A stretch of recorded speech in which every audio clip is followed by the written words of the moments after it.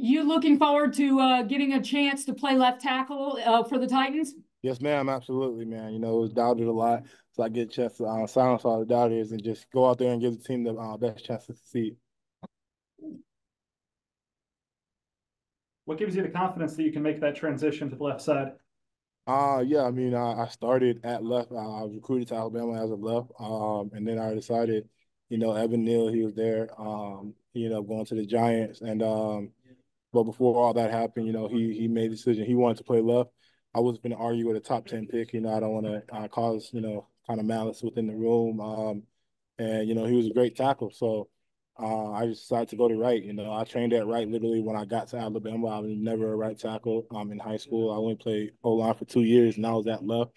I became the number two player in the country, number one in my position off of two seasons. Um, and yeah, I mean, so I know you know just with hard work, dedication. You know, people tell me, you know, my uh, one of my closest friends, family, tell me success is when preparation meets opportunity, and uh, I hold that near and dear to my heart. So I plan to, as soon as I step into the building, get get right to work. JC, how much of an idea did you have that you might land with the Titans before they drafted you?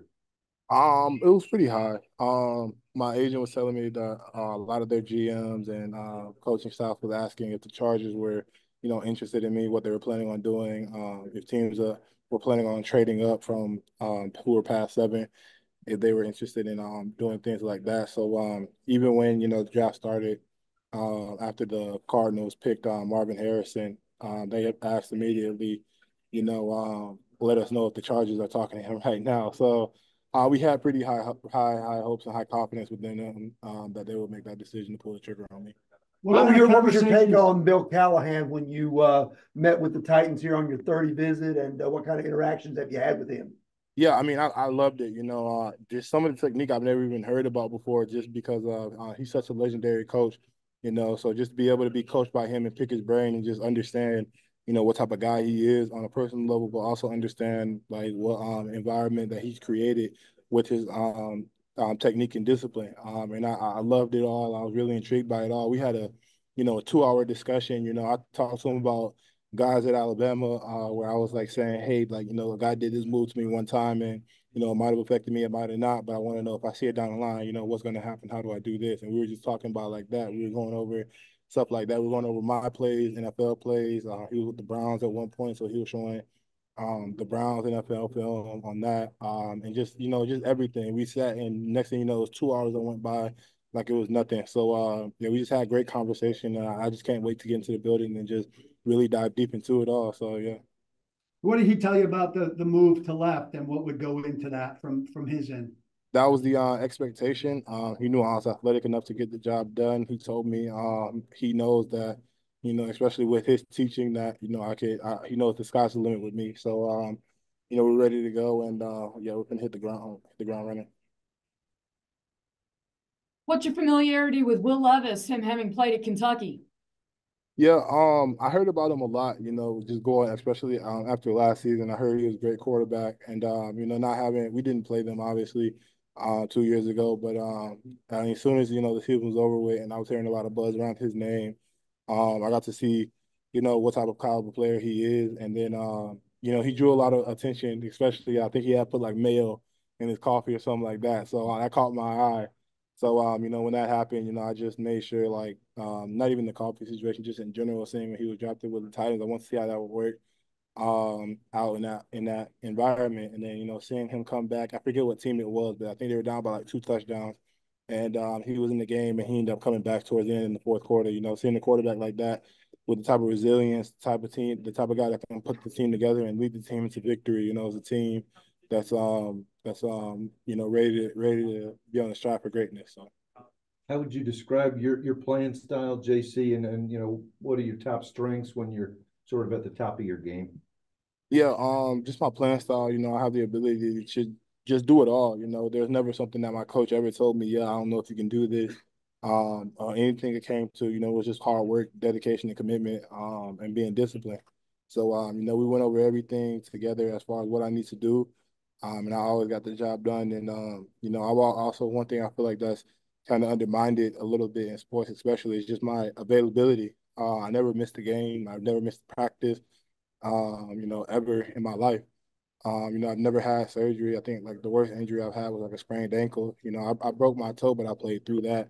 So, um, you know, and you ask any coach, especially a um, more veteran coach, you know, coach with experience, he'll tell you the best ability is availability.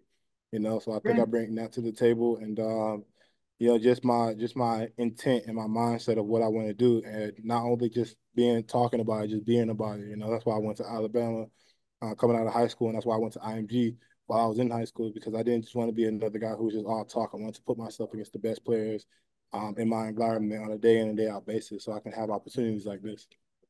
Ran Carthon told us to be sure to shake your hand tomorrow. Uh, in, Yeah. in the meantime, can you hold your hands up for? Yeah, I got I got some I got some pretty big hands. Yeah, eleven inch hands. Yeah, I think uh only I think one other guy, I think Marvin Harrison beat me by like an eighth of an inch. I think his hands were eleven and one eighth. So, but yeah, nah, um, yeah, I got some pretty big hands. What does JC stand for? uh Jerome, but I, I can't disclose the middle name. Only my mom calls me that. Uh, so yeah, so it's, it's pretty, it's pretty, it's pretty family uh oriented and uh, sacred. What about the, uh, uh, is, is the nickname that, that you gave yourself, is that TK, is that right? And can you explain, explain that a little bit? Yeah, so uh, when I was at IMG, uh, my head coach or my positional coach was George Hegamin. He played um with the Eagles with Jeremiah Trotter, um, Junior's dad. You know, with them Buccaneers, one team that he played with though that stood out was uh, the Cowboys with Deion Sanders and um Irvin and Larry Allen, all them guys when they were winning Super Bowls. And you know, building that bond every day going into meetings, you'd hear coach on the phone with um Deion, and he'd always go, "Prime time, what's going on, baby?" And you know, um, that just kind of stood out to me, not because like he was able to get in contact with them, even though it's prime time, but the fact that not only did they have a bond, prime time, Deion's standard is prime time. You know, when he's playing, it's prime time. You know, uh, watching the um, trips to Canton, Ohio, the documentaries about all the players who end up going to the Hall of Fame. You know, you you they have their name and then trip to Canton. You know, whatever it might be.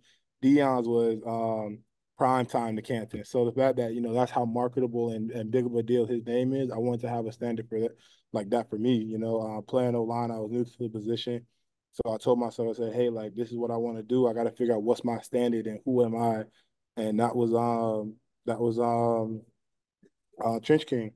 So, you know, with, with dubbing myself Trench King, I know every time we broke it down and, you know, uh, trenches on me, trenches on three, one, two, three, and you say trenches, it's always a mi- reminder in my head, like, hey, you're supposed to be the best guy in the trenches. You know, you can't you can't be the fastest receiver or you know be a quarterback who could throw it, but control your environment, control the trenches, and dominate the trenches every chance you get. That's the standard of what we play to.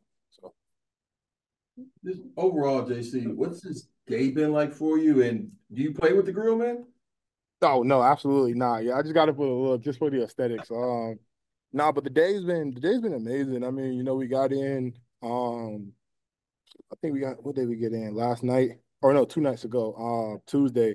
I got in like Tuesday at 9 p.m. Uh, had you know breakfast and meetings with um with a couple of people here. Um, and then we had um um an event for the kids. It was just a charity event for the kids and then media right after that. And I really enjoyed that time, just being able to give back to the community. I remember being a little kid once and, um, you know, going to camps. You know, there's still kids out there who go to camps with high profile high school, college, or even NFL players that hold them.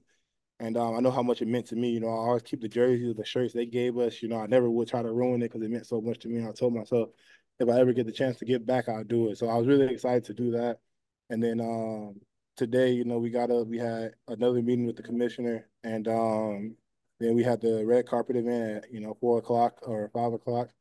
Uh, just doing some more media stuff and um, you know getting to know the fans and all that stuff. And then by the time all that was over, it was about 7 745 You know, we uh, did the national anthem and um, started the draft. So it's been a great process, man. I've enjoyed it all. Kayla, go ahead. Hey JC, welcome to Nashville, man. Um, first of all, do you have like broadcasting in your past? Because you're a hell of a speaker. Yeah. Um, it's it's great listening to you, but in terms of that personality, when it comes to bringing that to the field, how would you describe yourself as a player in that way? And do you kind of have that dog mentality on the line you can bring? Yeah, I mean, I like to take it a step further, you know. Uh, guys like Kobe, um, Israel Adesanya, guys like that nature, you know, they they they state numerous times that, you know, unless you're willing, as Kobe stated one time, you know, he's willing to put in the work, uh, the work, knowing that he might not get the results he seek.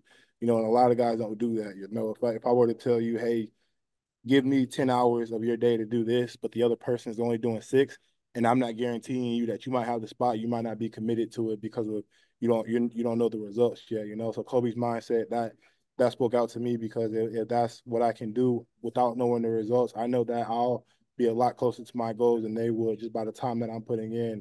And then something that Israel Adesanya said was, you know, when he's in the in the ring and he's fighting, you know, when the tough gets going and going gets tough, he tells himself he's willing to die about it.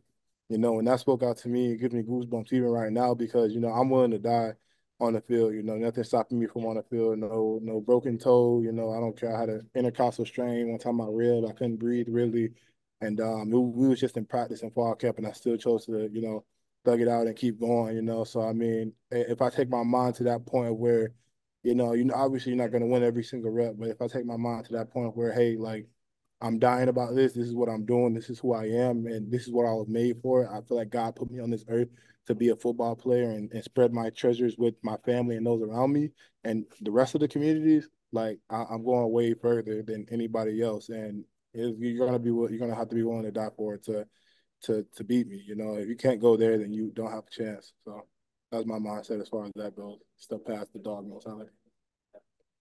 Lauren, go ahead. Hey Tracy, congratulations. Welcome to uh, Nashville soon to be. Um, Thank you. You may have just touched on this with your answer to Kayla's question, but with you having played at the highest level your whole career, high school, college, and now being the seventh overall pick, what makes you primed for pressure?